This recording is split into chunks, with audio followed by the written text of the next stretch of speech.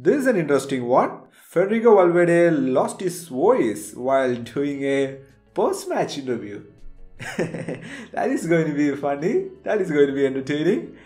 Uh, if you guys don't know, Federico Valverde is a Real Madrid and Uruguayan football player, one of the best football players in the world today.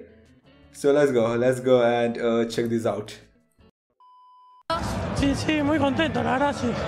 Se dio el partido como esperaban, un importante con rival complicado que peleaba el descenso. Sí, un rival muy, muy complicado, ¿no? Pero por What? suerte se pudo ganar ¿Qué que, te pidió el técnico? Que jugara y, y que abriera la cancha. That was funny. That was funny.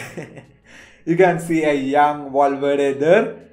I think what happened was he was shouting a lot during the match and lost his voice. I don't know which club he is playing at that time. Let me check. He played for Penarol till 2016 and then Castilla, then Deportivo de la Coruna.